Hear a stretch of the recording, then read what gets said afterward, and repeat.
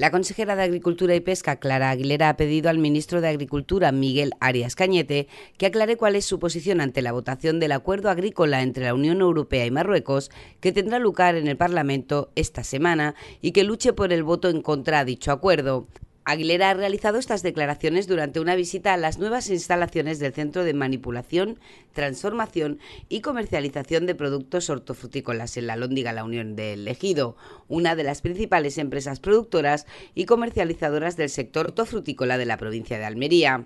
Al respecto, la consejera ha considerado inmoral llegar a un acuerdo que no beneficia ni a los agricultores andaluces ni a los de Marruecos. Por eso ha añadido que el gobierno andaluz estará siempre con el sector porque la lesión que provoca este nuevo acuerdo es evidente. En lo referente al actual acuerdo agrícola en vigor, la consejera ha acordado que no se respetan los precios de entrada preferenciales establecidos en los acuerdos ni las cantidades asignadas para cada producto. Asimismo, ha subrayado que las existentes normas de calidad, seguridad alimentaria y de residuos fitosanitarios que se aplican a las producciones hortofrutícolas cultivadas en la Unión Europea no se cumplen en las producciones procedentes de Marruecos, con el consiguiente riesgo para los consumidores. Esto provoca una situación de dumping social y económico que sitúa a los productores europeos en clara desventaja y les hace víctimas de una competencia desleal que no está siendo compensada por las autoridades comunitarias. Por todo ello, la Junta es contraria a que se firmen acuerdos de asociación que incidan